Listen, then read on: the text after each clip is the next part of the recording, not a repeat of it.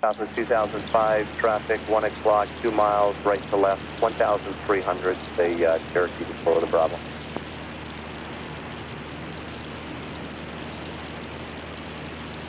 Southwest 2005, copy. Yes, sir.